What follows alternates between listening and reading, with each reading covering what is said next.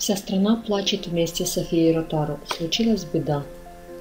В семье Софии Ротару случилось большое несчастье. Племянница народной артистки СССР Софии Ротару, певица Соня Кай, сломала обе руки во время путешествия по Испании.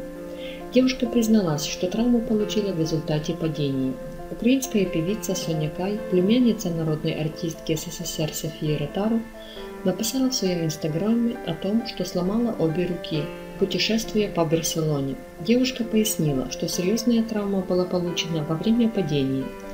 Я упала и повредила обе руки. Очень жаль, но надеюсь на скорейшее выздоровление и снятие гипса, написала артистка и поблагодарила своих подписчиков за теплые слова поддержки.